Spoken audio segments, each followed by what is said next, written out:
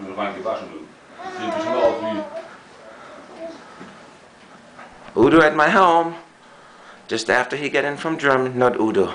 Thomas. This is a different endoexo patient. Look at him. Wie alt bist du? 43. He is 43 years old. And uh, he's doing my, what I call just Morgensport, exercise in the morning. And he just hops on the bike just like I do and goes. He's out biking me. Look at this. Unbelievable. It's very good. That's very good. So this great product uh, is being made available by made available by eskaamerica.com. So go to eska-america.com or call us at 770-965-5061.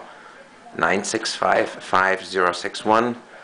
And we call this new invasion, invention the EndoExo.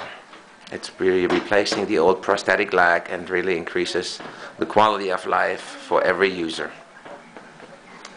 Right, Thomas? Was hältst du von der EndoExo? Ein sehr gutes System. He's a very good system, he Ein says. unkompliziertes System. It's uncomplicated, easy to use, and he even mows his lawn at home in Germany. Yeah, easy to handle, so he loves it.